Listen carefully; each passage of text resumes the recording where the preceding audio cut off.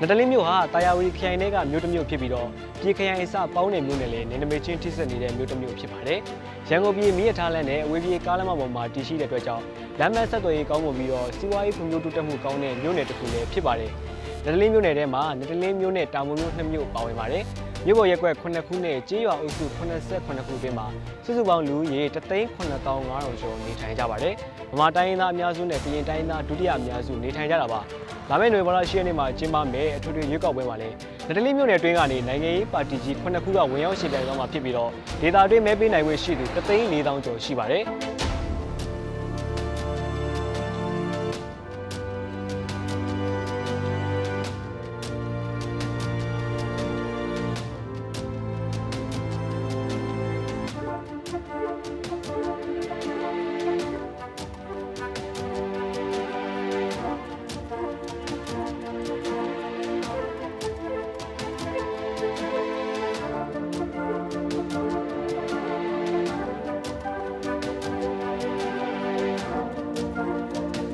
လာမယ့်2020ပြည့်နှစ်အထွေထွေရွေးကောက်ပွဲမှာပြည်သူလူထုကဘယ်အစိုးရကိုရွေးချယ်သွားမှာလဲလက်ရှိအစိုးရကရောပြည်သူတွေအတွက်ဘာတွေလှုပ်ဆောင်ခဲ့ပြီးပြီလဲမိမိတို့ဒေသအတွက်ဘယ်လိုလွှတ်တော်ကိုယ်စားလှယ်တွေကိုရွေးချယ်တင်မြှောက်သွားမှာလဲဆိုတာကိုကျွန်တော်တို့မြေလက်တန်သတင်းဌာနကနေအခုလိုလိုက်လံမင်းမြန်တင်ဆက်ပေးသွားမှာဖြစ်ပါခင်ဗျာအဲလန်တရာပေါ့နော်အဲ့ဒါမျိုးတွေပဲပြောင်းလဲလာတာတွေ့ရတယ်ပေါ့နော်ဒါပေမဲ့ထူးထူးခြားခြားကတော့ဟိုတခြားနေရာတွေမှာတော့ပြောင်းလဲတာမတွေ့ရဘူးလန်တရာတွေပြင်းတာပြုပြင်တာတွေတော့ရှိတယ် ဒီအရှိဘက်ချမ်းတွေပါဆိုတော့လန်တရာတွေပေါ့နော်နောက်လျှက်စင်ပြီးရွာတွေမှာရလာတာတွေရှိတယ်ပေါ့နော်အဲ့ဒါမျိုးရှိတယ်ဘာတွေဘူးမျိုးတိုးတက်လာလဲလို့အဲ့လိုမျိုးတဲ့တယ်မေးလို့ရှိလို့ထုံးစံတိုင်းပေါ့သူများတွေလူတွေပြောတယ်လမ်းတွေဓာတ်တွေတိုးတက်လာတယ်ဟိုပြောမလို့ဟိုပါပေါ့ဟိုလူတွေဟိုဖုန်းတွေပါတယ်ဟိုမီဒီယာတွေနဲ့ဆက်ဆံလဲပြီးပြီးတော့ တိုးတက်လာတယ်ဟိုမမြင်မှုတိုင်းမြင်မှုပြီးတော့တိုးတက်လာတယ်လို့ပဲဒီလိုပြောဒါမဲ့လို့လက်တလို့တိုးတက်လာတာကတော့ဘာတိုးတက်လာလဲဆိုတော့ဟိုက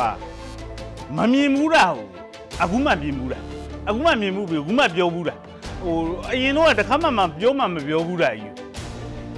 အဲ့လိုပဲပြောပြောရမယ်ပြောင်းလဲမှုကတော့ဒီနေရာတို့ရုပ်ဝတ္ထုပိုင်းနဲ့တော့ လမ်းတရားမီးဒါတွေကတော့ပြောင်းလဲမှုတွေရှိတာပေါ့ဟိုတိုးတိုးတက်မှုရှိတယ်လို့ငါးနှစ်တာကာလမှာဟိုပါဖြစ်လို့ရတယ်နောက်ဟိုစိတ်ဓာတ်ပိုင်းရေးရဆိုင်ရာနဲ့ကြတော့ပြောင်းလဲမှုတိတ်ပြီးတော့မရှိဘူးလို့ထူးထူးထူးထူးမရှိဘူးလို့ဘိုးတော့သုံးသပ်တယ်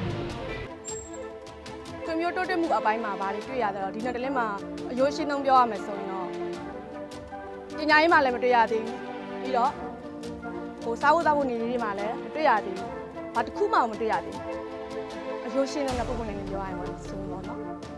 ဘာမှဆိုဘာမှမတွေ့ရဘူးလမ်းတွေကတော့အရင်တည်းဆိုင်ကောင်းတယ်ပြီးတော့တက်သမီးမရတဲ့ကျေးရွာတွေကိုတို့ပန်းဝန်းကျင်မှာတော်တော်များများရပါတယ်အဲစားတော့လူငယ်တွေရှိမှာကတော့ဘယ်လိုမျိုးလဲဆိုတော့မပြောရမဆိုရဲတာတွေပုံပွင့်လင်းလင်းပြောရဲတာအများကြီးအဲ့ဟာတော့အများကြီးပြောင်းလဲသွားတာဟောပေါ့နော် လမ်းတရားလမ်းလေးတွေကောင်းလာတယ်လမ်းဘက်ဆက်သွယ်ရေးလေးတွေကောင်းလာတယ်နောက်ပြီးတော့မီးမီးပေါ့နော်မီးဆိုရင်လည်းပဲထိုက်တဲ့တဲ့လောက်တော့ရနေပါပြီရနေပါပြီအဲ့ဒါလေးတော့ပြောင်းလဲတယ်လို့မှမြင်ပါတယ်ပြောင်းလဲတာတော့ခုနလက်စင်မီးတွေတို့လမ်းတရားတွေတော့ပြောင်းလဲပါတယ်ဆိုတော့အဲ့ဒါတော့တော်တော်များများလုပ်တယ်ဟုတ်ကဲ့သူကတော့လမ်းနေပါလေပြင်နေပေါ့လမ်းပြေးပေးတယ်မီးလင်းနေပေါ့ ဒါပါပဲပြောင်းလဲတာတွေတော့ရှိပါတယ်သူကသူပေါ့နော်ခုနဒီအဲလမ်းတို့မီးတို့ဘာလို့ပေါ့နော်ဒီလောက်တာတွေတော့ရှိပါတယ်ဟုတ်ကျွန်တော်တို့ကိုယ့်ဒေတာကိုဖွံ့ဖြိုးတိုးတက်အောင်ပေါ့လေ။အခုနလိုကိုရင်းစာနာစိတ်ရှိတဲ့လွတ်တဲ့ကိုယ်စားလှယ်မျိုးတော့လိုချင်တာပေါ့ဟိုဘယ်လိုပဲဝါရတော့မဟုတ်ဘူးပေါ့ညီလေးဒါမဲ့တိုင်းမျိုးတကယ်ချစ်တဲ့လူတကယ်လုံးချင်ပေးတဲ့လူဟန်မဆောင်တဲ့လူ အဲ့လိုလူမျိုးမဲပေးကြကိုဒေတာတော့တခြားပေါ့နော်ပြန်ပြီးတော့ကြည့်စေခြင်းနဲ့ကိုယ်စားလှယ်မျိုးတွေပေါ့အဲ့လိုမျိုးကိုယ်စားလှယ်တွေကိုပဲလိုချင်တာပေါ့ကျွန်တော်တို့အနေနဲ့ဟိုကိုမျိုးကိုဒီဒီအကုန်ပေါ့ရွာတွေပေါ့အကုန်လုံးတကယ်ကိုဟိုလိုအပ်တဲ့နေရာလေးတွေကိုအကုန်လုံးတေချာသူတို့ကလည်းကွင်းဆင်းပြီးတော့